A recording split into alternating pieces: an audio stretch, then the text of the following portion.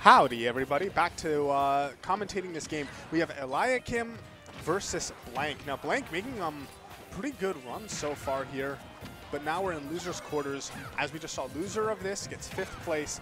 Winner gets to move on and possibly make an even deeper run. And right now, just the way that Blank has been playing tonight, look at this, 52% on Eli's 130. I'm pretty sure this is on paper a pretty bad matchup for Peach. I'm not going to claim to know the intricacies, but uh, definitely it's not looking like that at the moment. That neutral air killing from mid-stage. 63% is all that's been dealt. Okay, with this, oh, that's a dot eyes also. Yeah, Eliakim knows and he's trying to respect it. Okay, good shield just getting out of the way.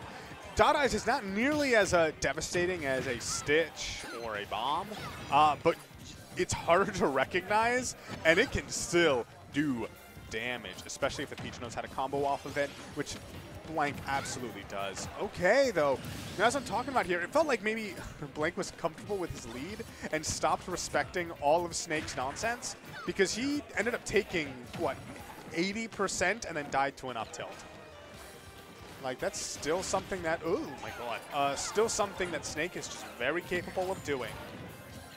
His, so much of his moves do so much damage. All right, but to talk about the actual game, I'm kind of liking this. Both players trying to play defensive. As I say that, the YOLO side B trying to zone break right there.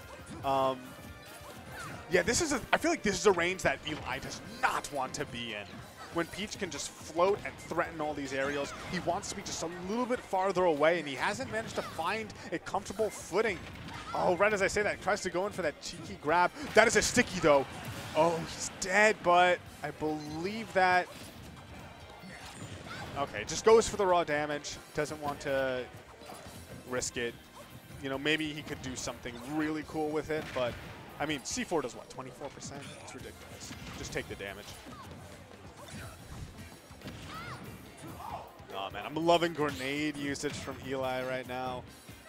And he's looking for this up tilt, which is, for Peach especially, it's so hard to avoid the up tilt. It covers so much space and so much of where you want to be floating.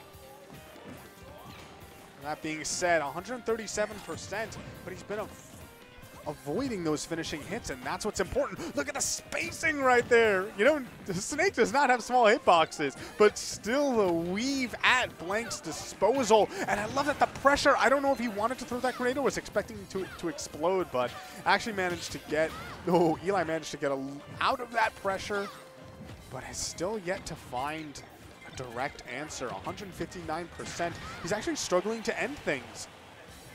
And I think that obviously that speaks volumes. The fact that if Eliakim is not finding those up tilts, that he's struggling to this degree, yeah, look at that, just a clean two-stock.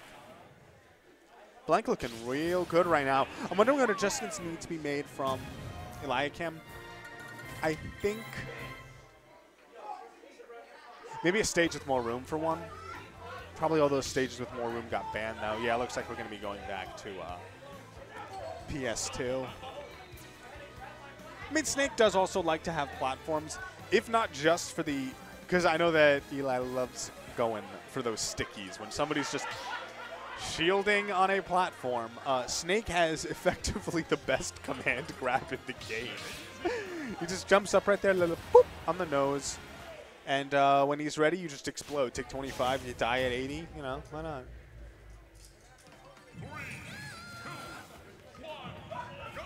Oh, actually, okay, so it was not PS2. My eyes deceived me. This is, I think, much better. Mainly because he... Oh, okay. Well, I was going to say, mainly because he maybe can take that space that he wants. On the other hand, if he gets trapped in the corner, that's going to be even scarier on a stage like FD without any platform to maybe retreat to or help him out. That's what we're seeing at the moment. Oh, off stage in the corner. That grenade exploding at that exact moment was so pivotal. It gave Eli just the tiniest window to get back onto stage. I like that. Going for the, oh, there's a Stitch. There's a Stitch. Oh my God, that was so good. He throws up the Stitch, and that entire time, I guarantee you, Eli's just watching the Stitch. He's like, am I going to get hit by this? And he stopped paying attention. He followed the birdie, and he missed the true threat. That was Blank's parasol.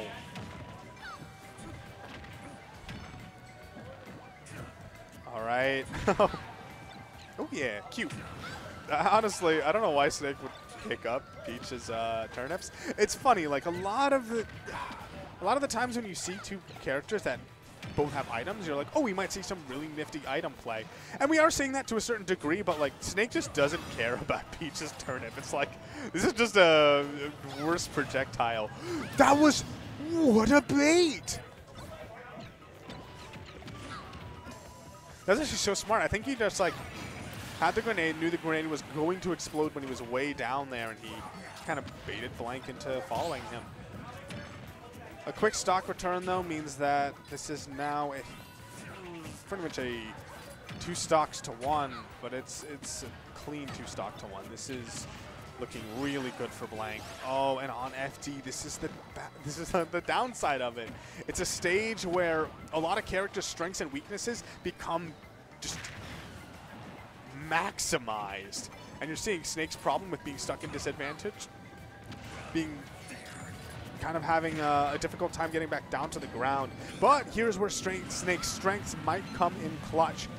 For one, now that Peach is in the corner, what can he do to actually exploit it? Grenade exploding on him. That's actually really bad. Nikita not enough to kill. Another one tries to follow home.